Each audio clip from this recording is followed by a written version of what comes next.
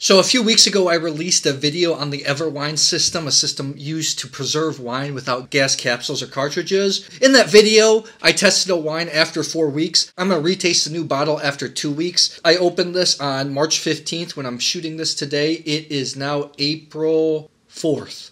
So, a little bit over two weeks. I won't go into detail on this system because I already did a full video on it. I just want to check out of my own personal curiosities. You can definitely tell it has had some air. So it's not 100% perfect like a Coravin, but it doesn't smell like vinegar. It doesn't smell very tired. Let's see. Palate's still fresh, it's still quite round. This is a system people drinking mid-range to lower wines want to keep for a few weeks. I think it's a good option.